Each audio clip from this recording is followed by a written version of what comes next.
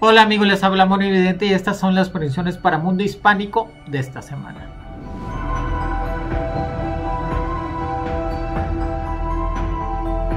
Los signos que van a traer toda la suerte es Aries, Virgo y Capricornio y sus números mágicos 05, 09 y el número 24.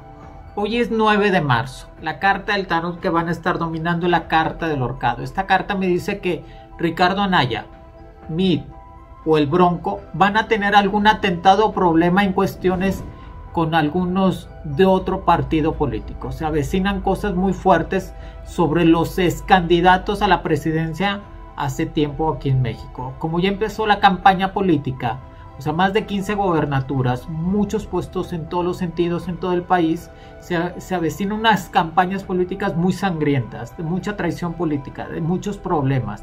Y ellos tres, Ricardo Anaya, Mid o el Bronco, van a tener algún problema en cuestiones de atentado, un pleito este, contra otros partidos o que le quieran hacer algo en la calle. Así que hay que tomar todas las precauciones y no pelearse, amigos. Si tú votas por uno o votas por el otro o eres candidato de alguien más, no enojarse. Simplemente llevar la fiesta en paz ahora que empiezan las campañas políticas en el país de México. Pero hablemos de algo muy importante, la carta del emperador y la carta del diablo.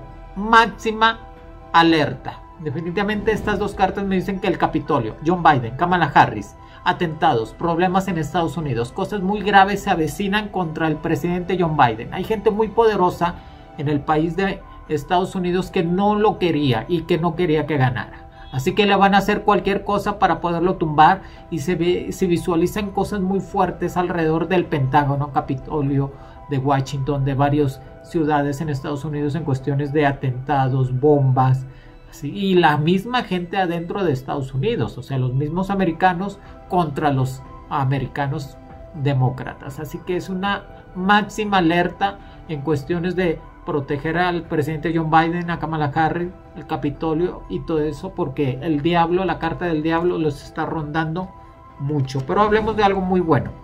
La carta de los amantes. Esta carta me dice que próximamente Salma Hayek y Sofía Vergara van a ser madres por medio de un alquiler de vientre o alguien más que les estuvo ayudando para ser mamás. Salma Hayek y Sofía Vergara. Dos latinas muy queridas, una mexicana y otra colombiana, van a estar hablando que viven en, Los Ángeles, California, que van a ser mamás. Una va a tener gemelos y la otra va a tener un niño. Así que todas las bendiciones, las dos de 50 años, más o menos por ahí. Así que qué bonito ser mamá a cualquier edad y más que ellas tienen todo el dinero para poderlo ser pero la, la carta de la rueda de la fortuna me dice que por fin la ley de migración sigue adelante. El Congreso la viene aprobando, este, los inmigrantes van a poder este, legalizarse, más de 11 millones, no se desesperen, las vacunas en Estados Unidos ya llevan más de 100 millones de personas vacunadas, si yo visualizo para el mes de mayo, principios de junio, que ya terminaron de vacunar a todos, que va a ser una bendición para ese país, que va a seguir ayudando todavía a México y que esta carta me dice que es una, que una, este, avanzando en la ley de migración para el mes de agosto, septiembre y poderse aprobar y que el presidente John Biden quiere a todo mundo ya con un estatus legal y poder crecer más en cuestiones de país. Y hablemos de otra cosa más, la carta del sol. Esto me dice que el país azteca, México, la economía, el dólar 22.50, la economía frágil en el país de México en todos los sentidos, así que hay que cuidar el dinero, hay que cuidar el trabajo. Muchas este, industrias eh, aquí en el país de México se están yendo a otros países en cuestiones de poner todavía sus inversiones.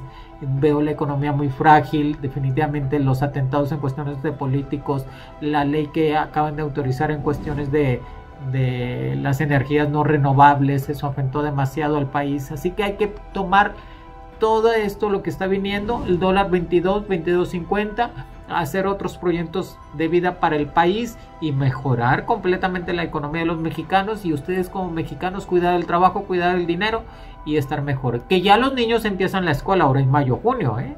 ya los niños ahora regresan a la escuela, por eso hay que cuidar todavía más esa hacienda esos sentidos. Dios me los bendiga, los quiere mucho. Monividente, cuiden el dinero, amigos. Viene una situación muy complicada en el país de México en cuestiones de dinero. Los quiere Moni.